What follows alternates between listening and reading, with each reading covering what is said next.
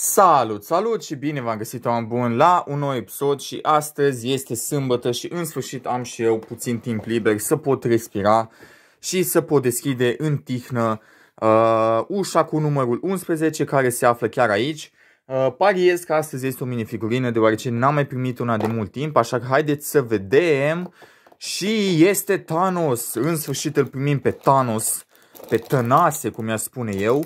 Uh, nu este prima apariție a lui Thanos în formă de minifigurină, însă după părerea mea este cea mai bună de până acum, așa că haideți să construim minifigurina și să vedem exact care este faza. Măcar de data asta nu voi avea nevoie de instrucțiuni.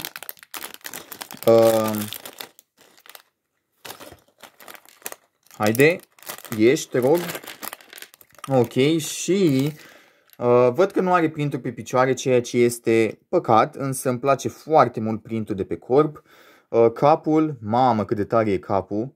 Uh, din păcate are numai o față, deoarece nu are nimic pe cap și vă dați seama, nu ar putea să aibă o față secundară.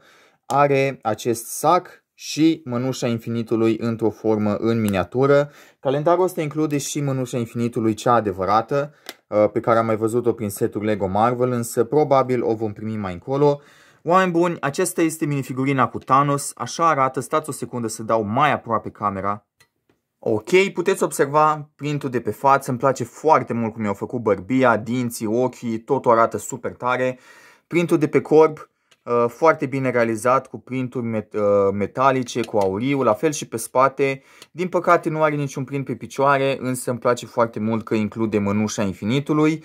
Nu știu exact ce ar trebui să reprezinte sacul ăsta, însă aceste două piese negre cred, cred că ar trebui să reprezinte niște cărbuni, deoarece Thanos este un băiat rău, după cum știți și voi, a făcut multe lucruri rele, a fost băiat obraznic, a omorât jumate din univers uh, și de aceea nu merită altceva decât acești doi cărbuni. Nu știu exact care e faza cu sacul, nu știu ce ar trebui să aibă în sac, poate este un sac plin de pietre, pietrele infinitului, cine știe. Oameni buni, aceasta a fost minifigurina de astăzi. Dacă v-a plăcut, nu uitați să apăsați butonul de like, să vă abonați și uh, să dați un share la prietenii voștri ca să poată și ei să-l admire pe mărețul Thanos.